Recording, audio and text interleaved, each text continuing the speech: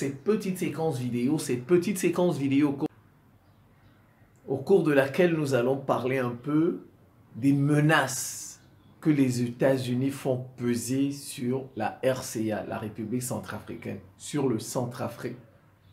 les autorités centrafricaines voudraient qu'on dise le Centrafrique. Voilà, c'est un peu difficile, moi-même, parce qu'on était habitué à dire la Centrafrique, la Centrafrique. Voilà, donc on va parler des menaces que les États-Unis font peser sur le Centrafrique.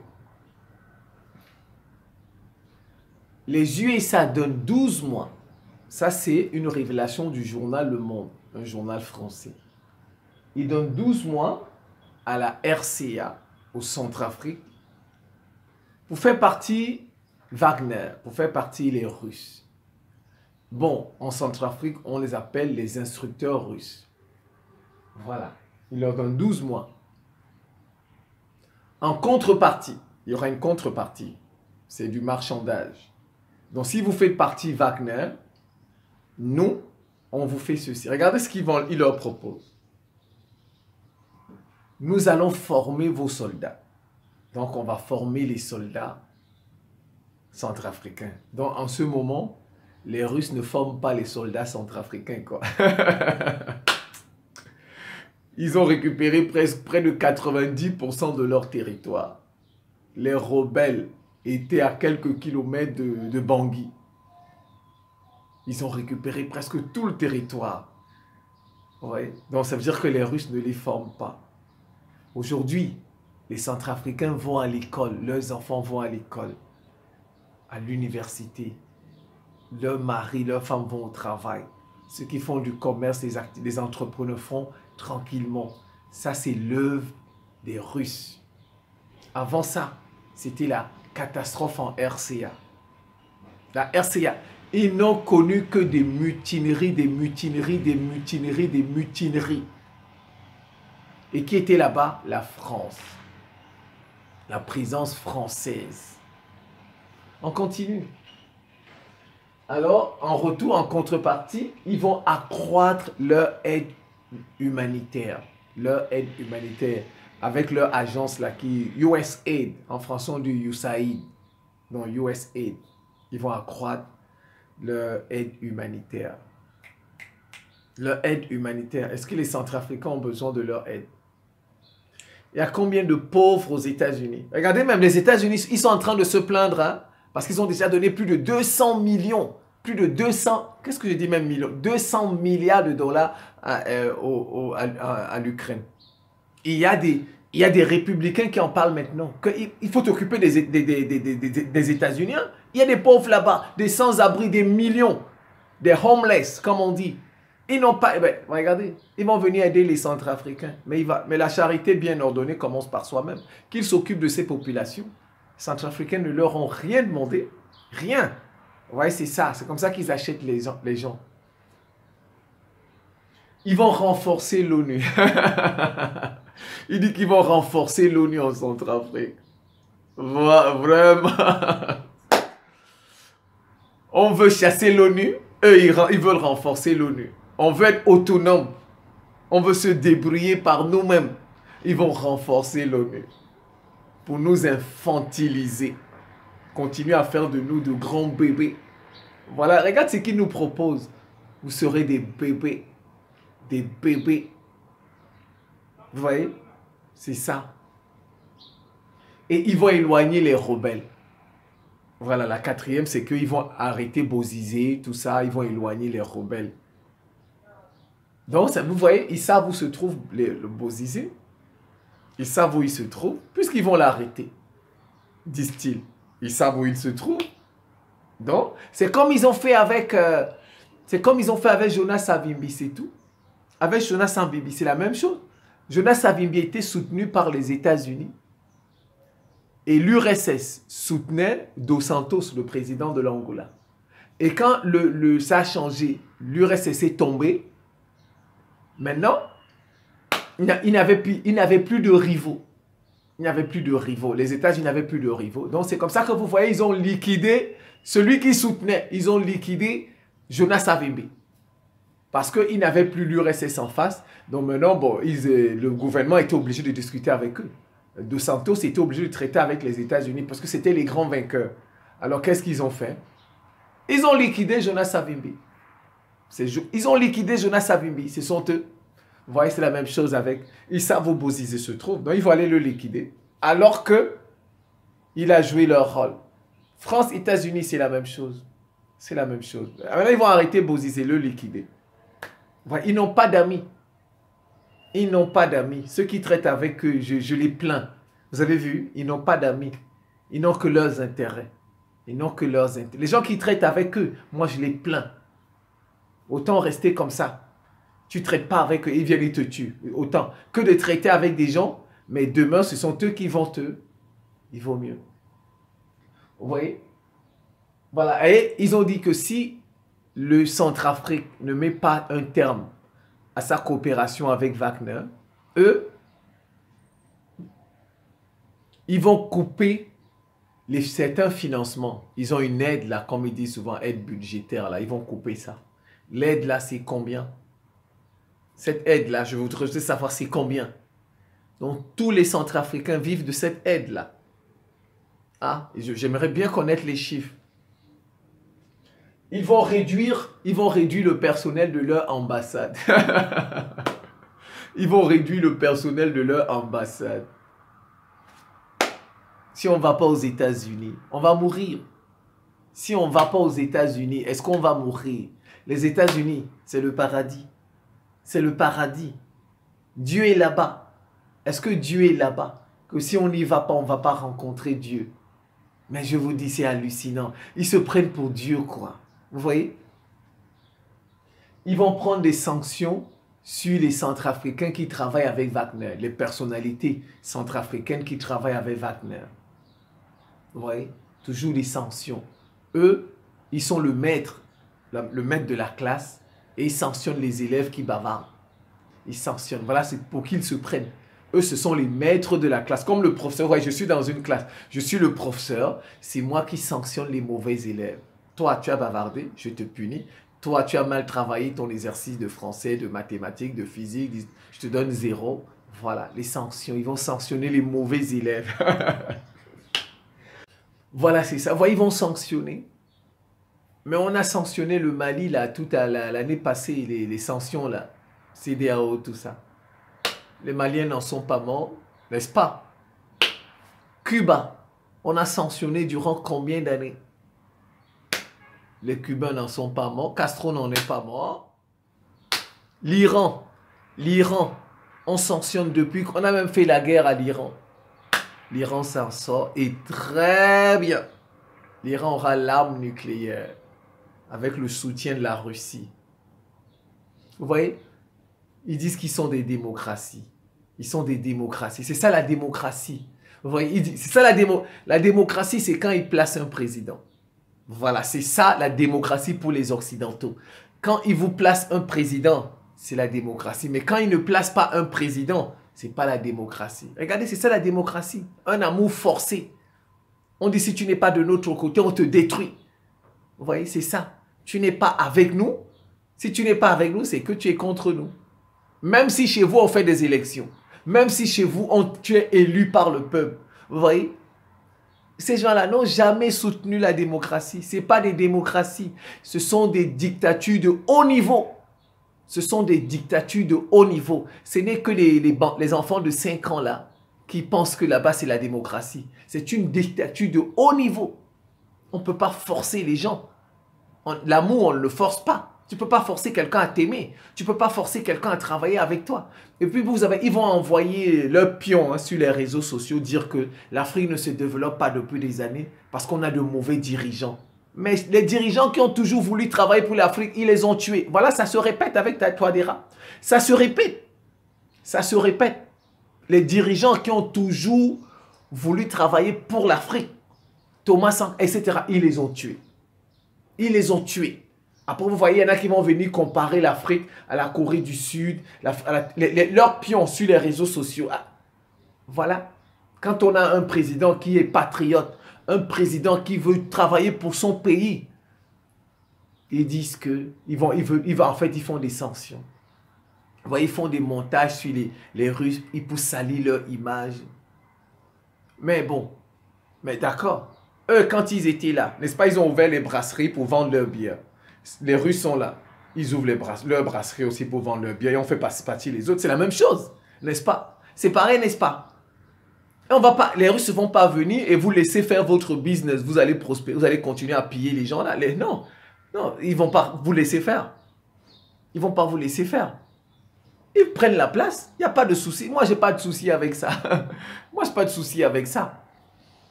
Vous voyez? Ils parlent de formation. La France est là-bas depuis combien d'années? La France est en Centrafrique depuis combien d'années? La France a formé les militaires centrafricains depuis combien d'années? Vous voyez, ils ne sont jamais prêts. On forme toujours. On forme toujours. Non. C'est que ils n'ont pas donné des armes à ces gens-là, c'est tout, à ces militaires. Ils n'ont pas besoin qu'on les forme.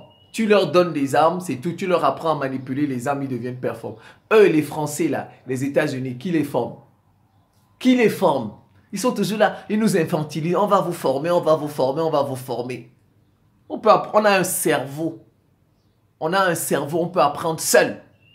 On peut apprendre seul. Ils apprennent seuls. Eux, c'est des autodidactes. C'est des autodidactes, les Occidentaux. Il n'y a personne qui leur apprend. Ils apprennent seuls. Mais vous voyez, ils maquillent ça avec le mot euh, la recherche. On fait de la recherche scientifique. La recherche, voilà, ils, ont donné un beau mot. Mais c'est des autodidactes. Le vrai, ils apprennent seuls. Personne ne les forme. Il suffit juste que, que vous donniez des armes aux Centrafricains. Ils vont s'en sortir. Ils n'ont pas besoin de votre formation leur donner. Et justement, c'est parce que la France n'a pas donné les armes à Touadéra qu'il est parti en, Russie. Si la France avait donné les armes, il ne serait pas parti en Russie. Mais pourquoi la France n'a-t-elle pas donné les armes? Elle ne peut pas donner des armes à l'armée centrafricaine parce que c'est elle qui arme les rebelles. Tu ne peux pas donner euh, les armes au, gouvernement pour tuer tes rebelles. Tu ne peux pas. Tu ne peux pas. Voilà, c'est ça le, c'est ça le problème. Ce sont eux qui arment les rebelles. Comme ça, les rebelles sont ce qu'on appelle une épée de Damoclès sur le gouvernement. Si tu ne fais pas ce que nous, on te dit de faire, on, lâche les rebelles. C'est tout comme ils faisaient tout le temps avec Idriss Déby. Jusqu'à ils sont allés au palais, à l'époque de Sarkozy, on a failli tuer euh, Idriss Déby. Les rebelles, c'est comme ça. C'est ça le problème. Vous voyez, ils ne donnent pas les armes au gouvernement. Parce que s'ils donnent les armes au gouvernement, regardez comme ils en donnent en Ukraine. Voilà. S'ils donnent les armes au gouvernement, le gouvernement va détruire leurs propres rebelles le gouvernement va devenir fort et ils n'auront plus de moyens de pression. Donc les rebelles là que vous voyez, c'est pour faire pression sur le gouvernement. Et comme ça, ils peuvent avoir toutes les richesses du pays. C'est ça. C'est la même chose au Mali. C'est la même chose. Au... Ils ne donnent pas les armes aux Maliens. Ils ne donnent pas. Les Maliens sont allés voir les Russes. Regardez aujourd'hui comme le Mali est presque en paix. Le Mali va gagner, va récupérer tout son territoire. C'est rien. Centrafrique a récupéré près de 90%. Le Mali va le faire. Ça fait seulement un an qu'ils sont là. Le Mali va le faire bientôt. Ça, c'est rien. Ça va finir tout ça. Les Russes vont mettre un terme à tout ce qui se passe au Mali et au Burkina. C'est ça. Ils ne donnent pas les armes au Burkina, au Mali, parce que si ils vont tuer leurs terroristes. C'est ça, ce sont leurs terroristes. Ils ne peuvent pas donner les armes pour qu'on tue leurs, terroristes. ils ne peuvent pas. Et les terroristes, comme je l'ai dit pour Centrafrique, sont là. C'est une épée de Damoclès sur les gouvernements si tu ne, si tu fais pas ce qu'on te demande, on lâche les terroristes. Donc, ils sont, le gouvernement est obligé de faire ce qu'ils font, ce qu'ils demandent, et vous voyez, ils prennent les richesses. C'est pour les richesses. Les terroristes, les rebelles, ce sont leurs terroristes, ce sont leurs rebelles qu'ils arment. Et ils empêchent, les... même au Congo, vous voyez, ils font des embargos. Un gouvernement qui est attaqué par des rebelles, vous faites un embargo sur les armes. Un gouvernement qui veut se défendre, il est attaqué par des rebelles, mais on dit qu'il ne peut pas acheter des armes. C'est contradictoire, n'est-ce pas? Parce que les rebelles là sont leurs rebelles. Sont leurs rebelles. Les États-Unis ont toujours été complices de la France. En fait, en réalité, les États-Unis sous-traitent l'Afrique à la France. La France est une sous-traitante de, des États-Unis. Les États-Unis sont complices de tout ce que la France a fait chez nous. Les États-Unis sont complices. Sont complices. Olympio a été tué où? Dans la, dit-on, il y a plusieurs versions on dit qu'il a été tué dans l'ambassade des États-Unis. Dans l'ambassade. Alors, Ça veut tout dire. On tue un président dans l'ambassade des États-Unis. Donc c'est ça. Les États-Unis, si les États-Unis avaient dit à la France de ne plus nous maltraiter, la France n'aurait jamais fait tout ce qu'elle nous a fait. Jamais. Donc c'est avec la complicité des États-Unis. Tout ce que la France a fait en Afrique, c'est avec la complicité des États-Unis. La France est une sous-traitante. Voilà, c'est ça. Mais en fait, pourquoi fait-il pression? Pourquoi menace-t-il le président Touadéra? C'est simple. Il a peur des BRICS. Ils ont peur des BRICS, les États-Unis. Les États-Unis ont peur des BRICS. Vous voyez, les BRICS ont ouvert un siège en RCA et ils vont mettre une banque là-bas, la banque des BRICS. Donc désormais, on peut aller prêter l'argent là-bas. On n'a plus besoin d'aller à la Banque mondiale. Vous voyez, en fait, ils veulent écarter le, le, le, pour casser la banque que les BRICS vont mettre là-bas. Regardez, parce que, n'est-ce pas, il y, a, les Russes au Mali, il y a bientôt les Russes euh, euh, au Burkina. Au Mozambique, il y a les Russes, mais, ils n'ont pas fait de telles propositions au Mozambique, n'est-ce pas? Vous allez peut-être me dire que c'est parce que toi, Dera, c'est lui qui a ouvert la voie. Il a montré le chemin. Il y a aussi ça. Il a montré le chemin, oui, mais c'est surtout les, BRICS, la banque. Parce que ça va casser la Banque mondiale. C'est ce qu'ils ont fait avec Saddam Hussein. Saddam Hussein avait dit qu'il ne veut plus vendre son pétrole en dollars. Donc ça va casser le dollar. Et ils ont fait la guerre. C'est la même chose ici. C'est la banque. Pour Saddam Hussein et la Syrie, c'était le dollar. Parce que la Syrie avait dit désormais, je veux utiliser l'euro chez moi pour vendre mon pétrole aussi. Voilà. Vous voyez, la Syrie, l'Irak, c'était le dollar. En Centrafrique, c'est la Banque mondiale. Ils veulent casser la future banque des BRICS. Parce que désormais, les pays africains peuvent, aller, peuvent se tourner vers les BRICS pour prêter de l'argent. Or, ils veulent qu'ils continuent de passer par la Banque mondiale et le FMI. Et comme ça, ils vont leur donner leur conditionnalité. Conditionnalité des Occidentaux. Vous voyez, en fait, ce qui, c'est l'objectif, c'est casser cette banque-là. La future banque qu'ils vont mettre là-bas. C'est ça l'objectif. Sinon, les Russes sont au Mozambique, mais ils n'ont pas fait ça, cette proposition au Mozambique. Ils nous font passer au Mali. Bon, ils vont vous dire peut-être qu'au Mali, il n'y a pas encore eu élection. Tout ça. Il n'y a pas encore eu élection. Euh, parce que ceux qui sont là sont des militaires, ils viennent d'un coup d'État. Mais au Mozambique, alors, Mozambique, c'est quoi? Vous voyez? Mozambique, c'est quoi? Celui qui est là, c'est un coup d'État aussi. C'est un militaire aussi. Non. En fait, l'objectif, c'est les BRICS. Ils veulent casser la banque. Parce que cette banque va casser la Banque mondiale il va casser le FMI. Voilà. Ils veulent contrer. Ils veulent contrer l'avancée des, programmes des BRICS. Et comme les BRICS ont choisi le Centrafrique pour siège, voilà, et ils veulent casser ça. C'est ça. Mais, ils perdent leur temps. Parce que je pense que c'est peut-être même l'occasion pour les Russes de doter le Centrafrique militairement c'est l'occasion. Et puis les Russes, les Russes n'ont pas ce problème. Les Russes n'ont pas. Regardez, les Occidentaux, les Occidentaux, ils peuvent vous développer. Ils peuvent vous développer, mais avec des limites. Voilà, ils peuvent vous développer avec des limites. Prenons Taïwan. Prenons même le Japon. Prenons même, prenons même la Corée du Sud. Vous voyez, ça, ce sont les États-Unis qui ont fait ça, qui ont fait ces pays briller. Le Japon a connu ce qu'on appelle le plan Marshall, n'est-ce pas? Donc vous voyez, la Corée du Sud, la Corée, Taïwan et le Japon, ce sont les États-Unis. Donc regardez comme ils, ont, sont développés. Mais sauf que, sauf ils fabriquent même des avions de chasse. La Corée du Sud est le huitième en vente d'armes dans le monde. Mais le problème, le problème c'est que eux ne peuvent pas dépasser les États-Unis. Eux ne peuvent pas avoir l'arme nucléaire. Vous voyez la différence? C'est qu'ils peuvent vous assister, ils peuvent vous développer, mais il y, a, une ligne, une ligne rouge que, où ça ne peut pas aller. Donc vous serez toujours un enfant. Regardez, au Japon, ils ont des bases militaires. En Corée du Sud, ils ont des bases militaires. À Taïwan, ils ont des bases militaires. Vous voyez, ces pays-là restent des bébés. Ils restent des enfants.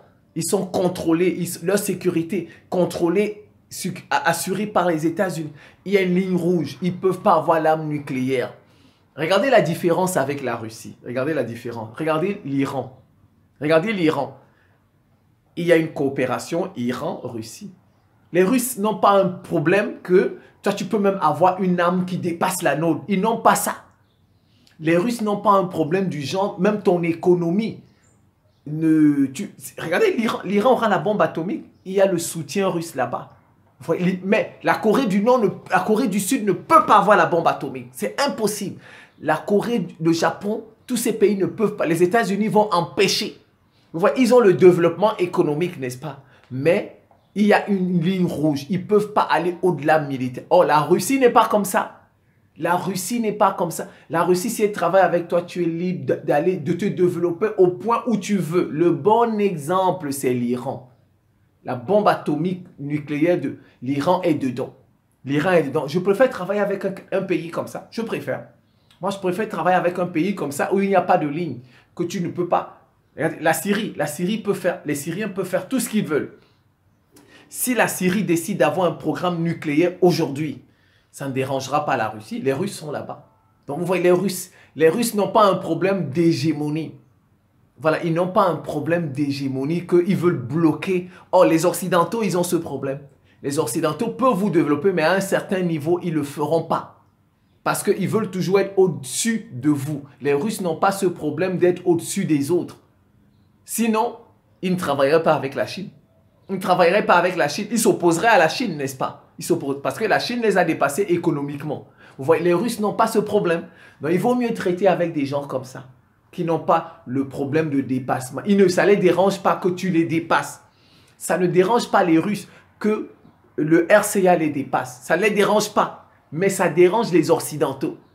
Ça dérange les Occidentaux. Vous voyez, c'est ça la, la grande différence. Donc maintenant, toi, Dera, toi, Dera, ce qu'il doit faire, ça c'est quelques propositions. Il doit d'abord de toutes les façons refuser ça.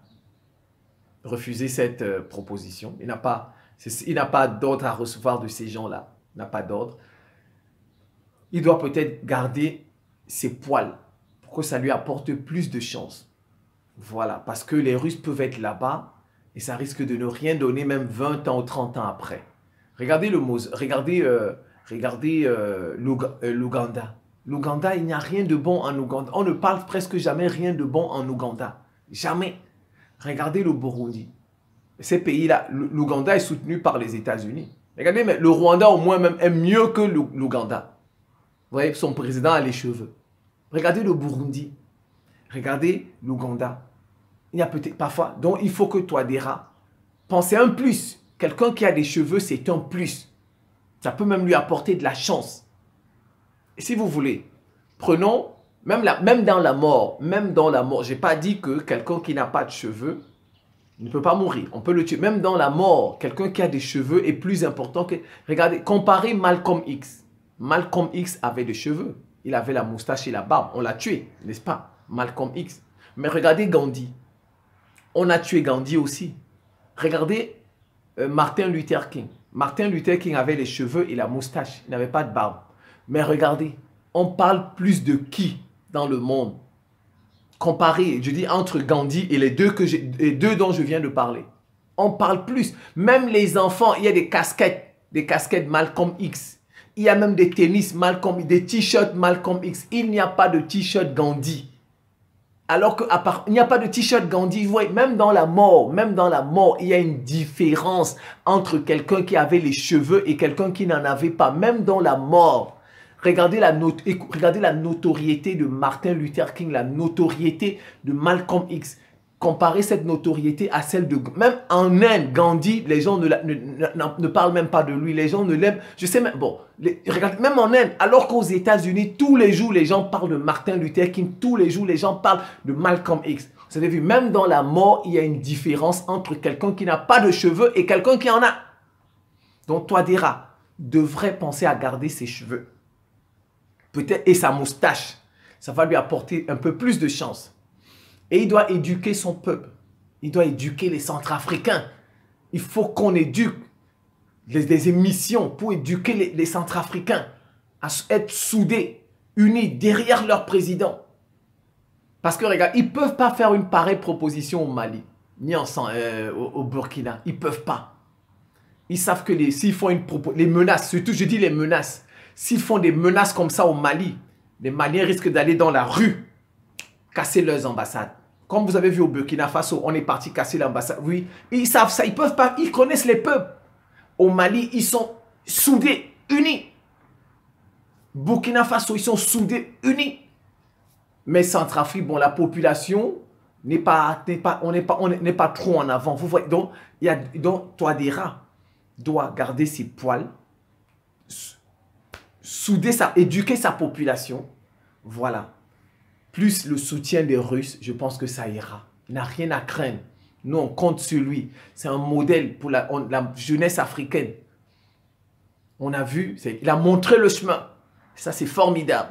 Voilà, je pense que j'en ai assez dit. Je vais m'en tenir là. C'est la fin de cette petite séquence vidéo. Je vous remercie pour votre attention et à très bientôt.